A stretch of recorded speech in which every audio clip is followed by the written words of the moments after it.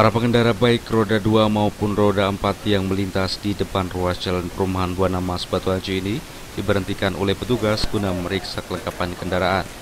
Tujuan razia cipta kondisi ini dilakukan oleh petugas kepolisian yang tergabung dalam tiga Mapolsek Tadi Batam untuk memberikan rasa aman bagi warga sekitar yang resah terhadap maraknya kejahatan di kota Batam. Tiga Mapolsek yang melakukan razia tersebut di antaranya Polsek Batu Haji, Polsek Sagulung, dan Polsek Galang. Kapolsek Batu Haji Kompol Zainal Arifin yang juga sebagai komando razia dari tiga polsek mengatakan razia cipta kondisi dikhususkan bagi warga yang bawa senjata api, senjata tajam, dan seluruh barang yang dianggap berbahaya. Ini kita malam ini kita cipta kondisi razia dari dari gabungan tiga polsek, polsek Batu Haji, polsek Galang, dan polsek Sagulung. Ya, ini untuk menciptakan rasa aman kepada masyarakat.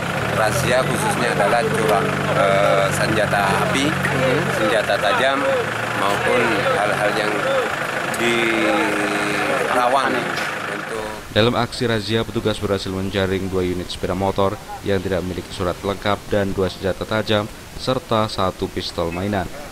Fahru Rozi melaporkan dari Batam.